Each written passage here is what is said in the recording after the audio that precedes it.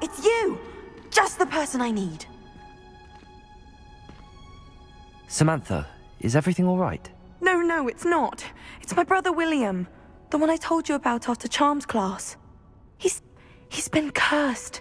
He ignored my warning and now he's lying in St. Mungo's looking completely pathetic. He simply never listens. I'm sorry, how exactly has he been cursed? Oh, you won't believe it.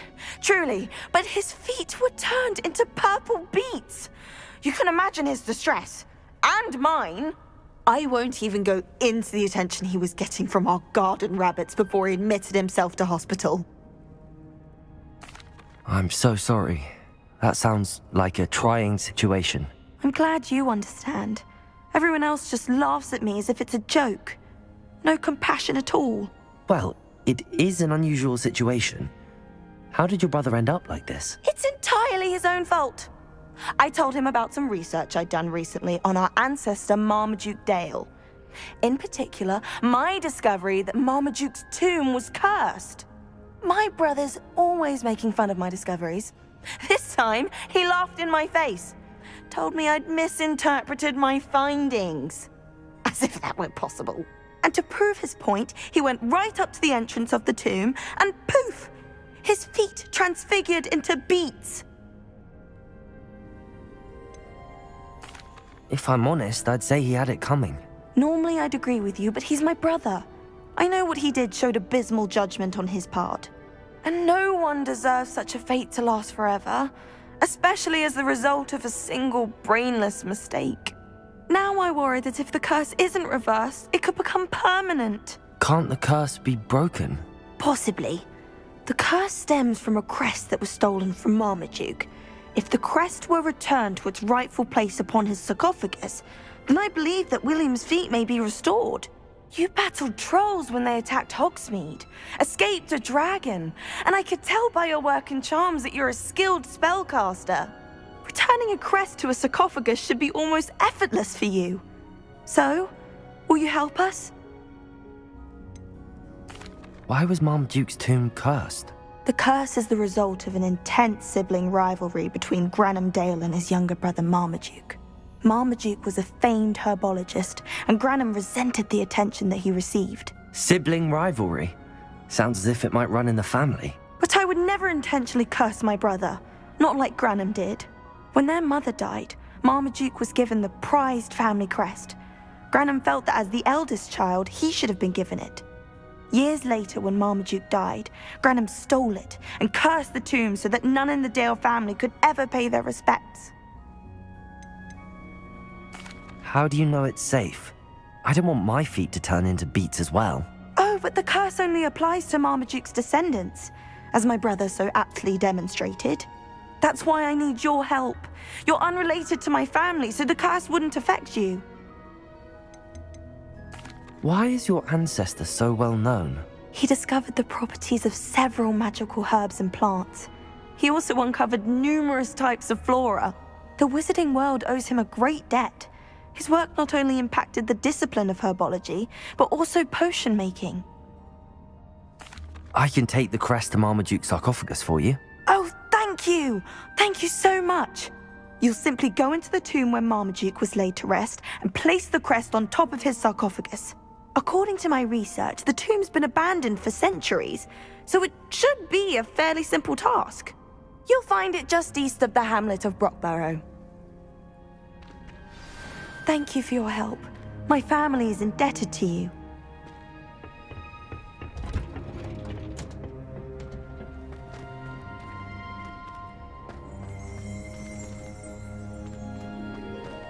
To find the tomb near Brocburrow and place Samantha's family crest on a sarcophagus there.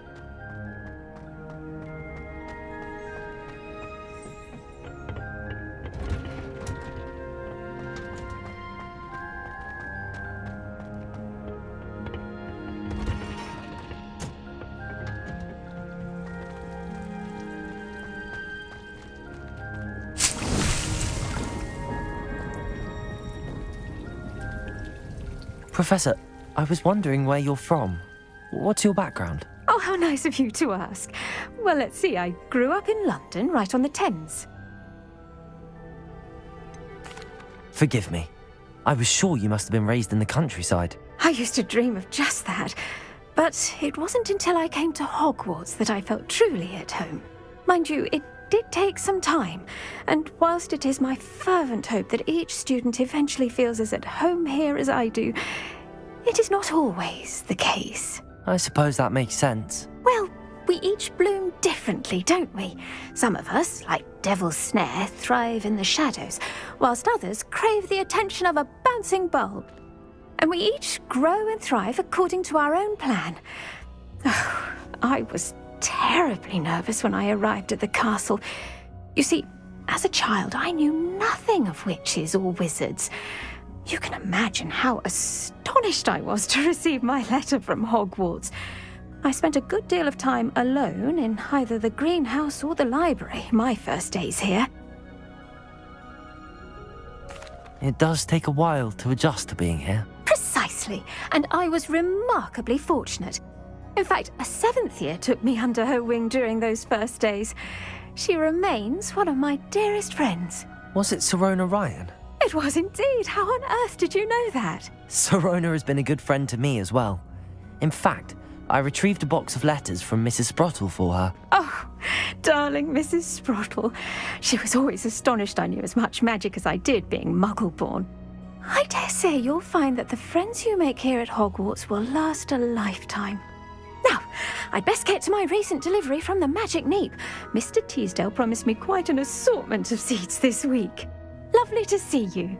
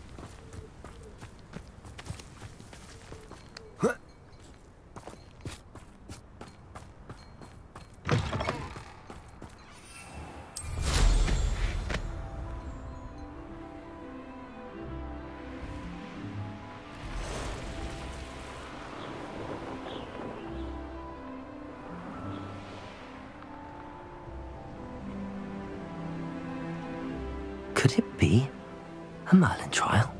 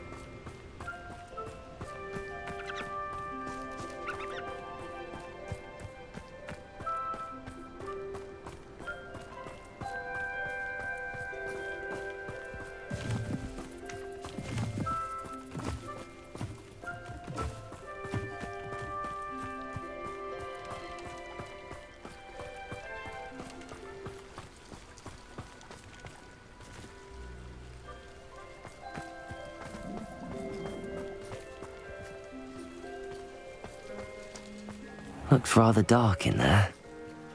Never stopped me before.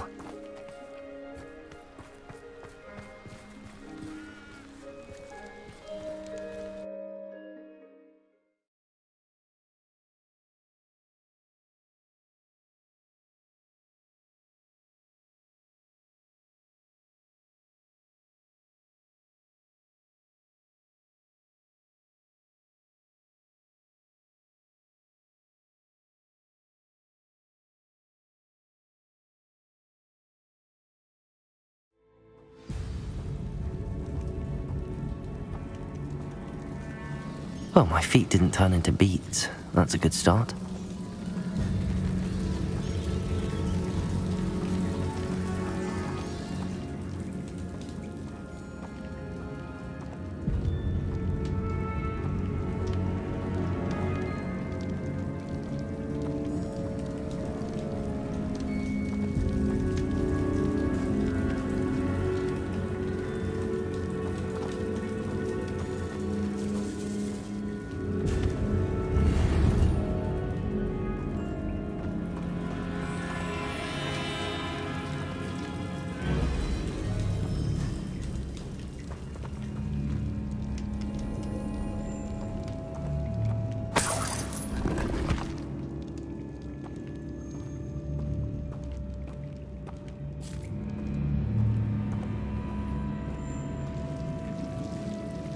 Should have known a herbologist would use Devil's Snare.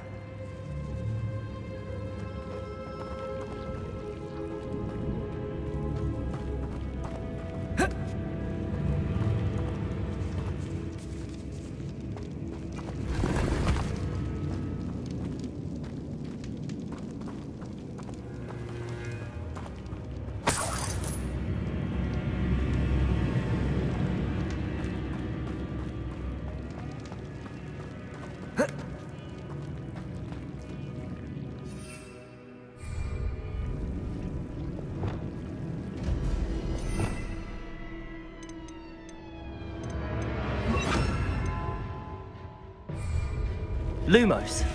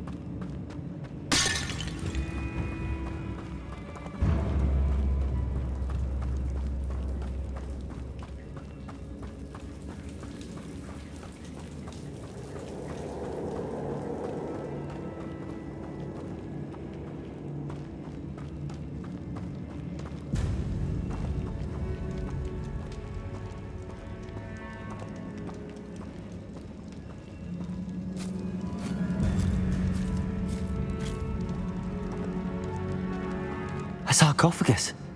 This must be Marmaduke. That should reverse the curse. Hopefully.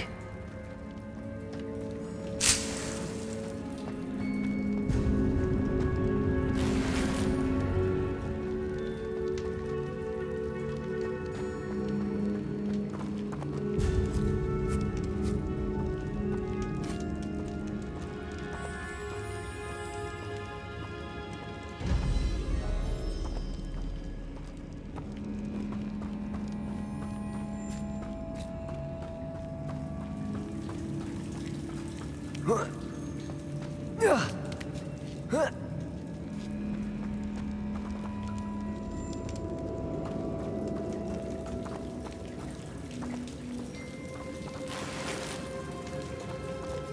Marmaduke certainly left behind more than plants.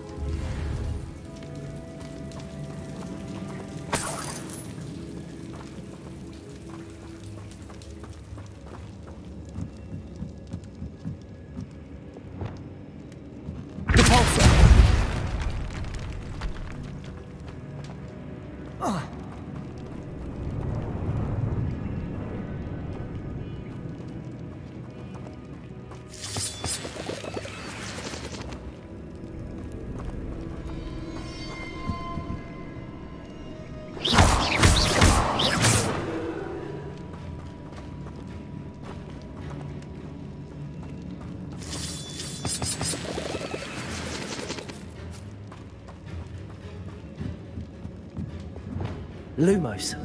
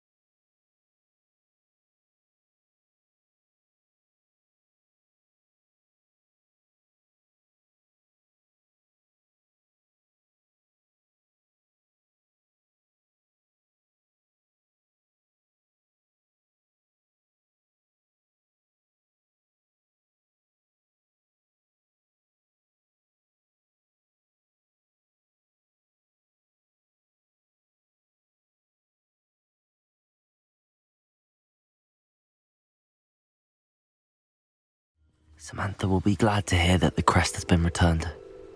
I certainly hope it reverses the curse.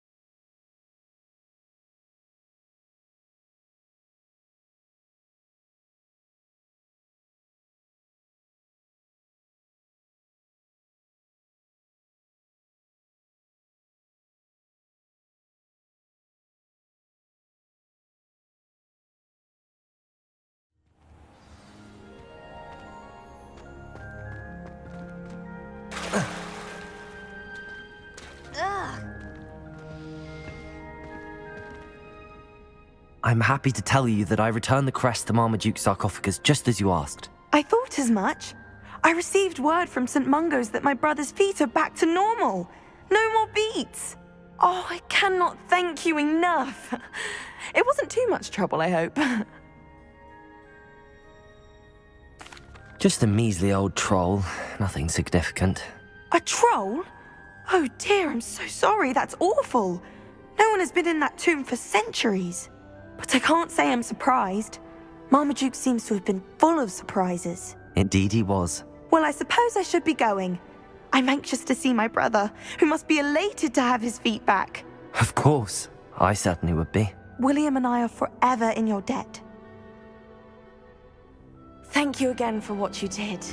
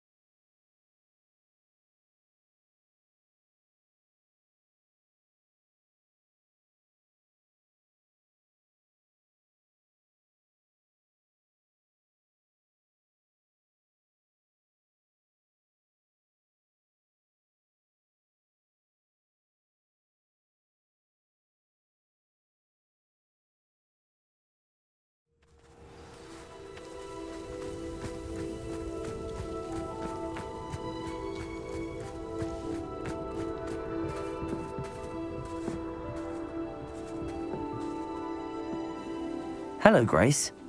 What are you doing here? Nice to see you. Thank you again for your help at the lake. I've become quite good at Summoner's Court, and I'm waiting for my next opponent. I suppose that's you. I suppose so. Shall we begin? I'm game. Well, let's see what you're made of.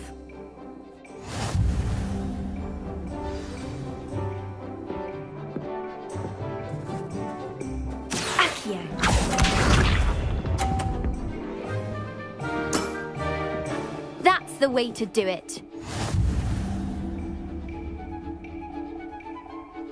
Accio!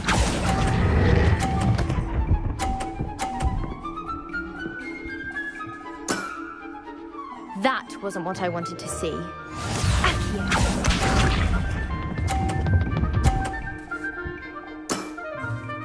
That's the way to do it.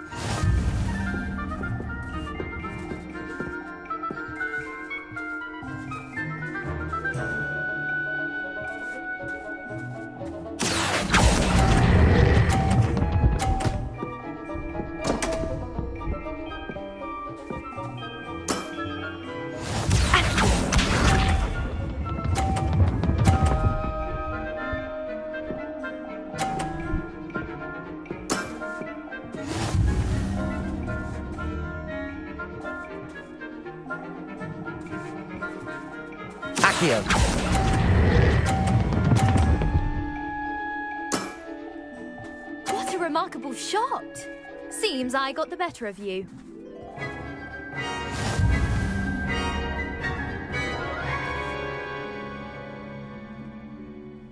Seems you couldn't get the upper hand that time. How about another round? Let's have it. Then take your mark.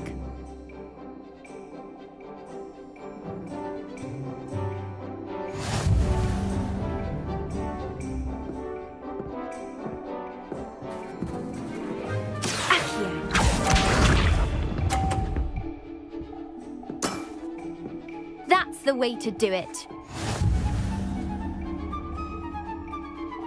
Accio.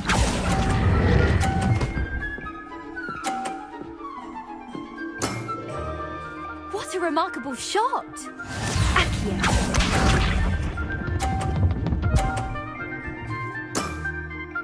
That's the way to do it.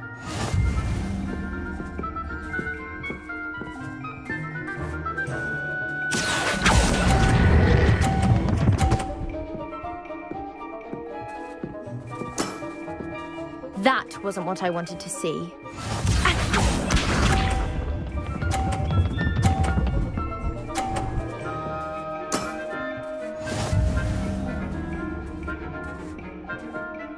Accio.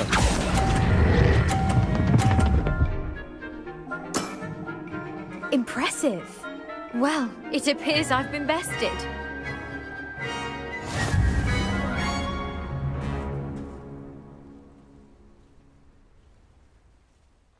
Done!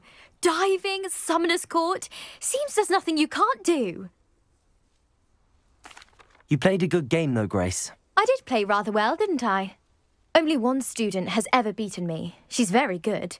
But if you play the way you did against me, you might stand a chance.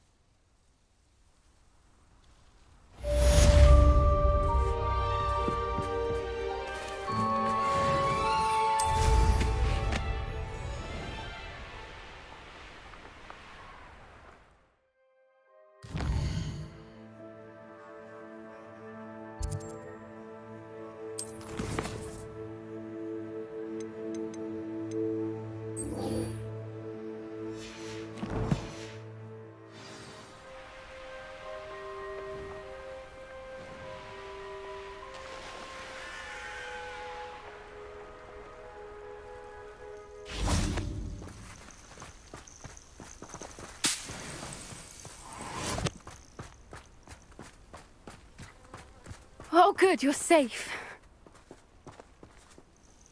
There you are. You were in such a state when you left. The poachers got to my gran. Someone recognized me in Horntail Hall and they got to her. What do you mean? Is she alright? She's fine, thank goodness. But they were at her house, our house. They assumed I'd sent the egg there.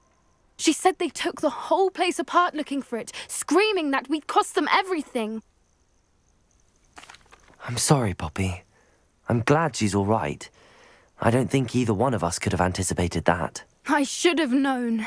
I underestimated the poachers. And now another creature's in danger. What do you mean?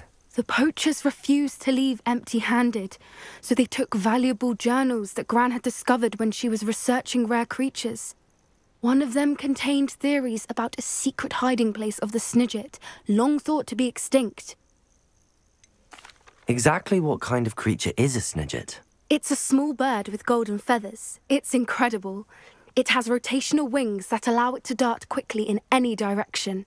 In fact, the golden snitch in Quidditch is based on the Snidget, which barbarically was actually used in the sport hundreds of years ago. Why would Snidgets be valuable to poachers? They could make more money with Snidgets than they ever would have fighting dragons. The golden Snidget's feathers and eyes are incredibly valuable. That's why they're believed to be extinct. They were hunted out of existence by wizard kind. If the poachers found some now, I can't bear to think about the horrific way they'd be bred and killed for profit.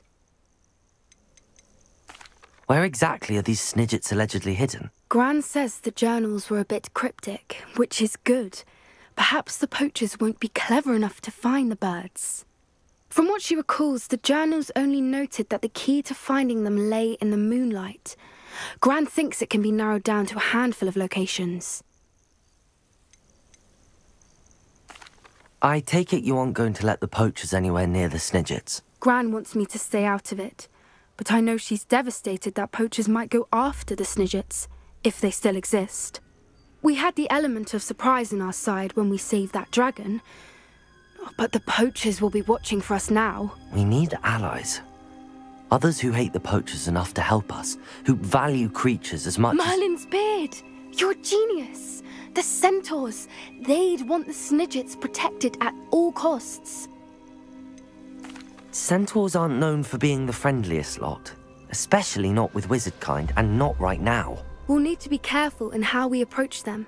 Tensions with them are high. Still, I think they may be our only hope.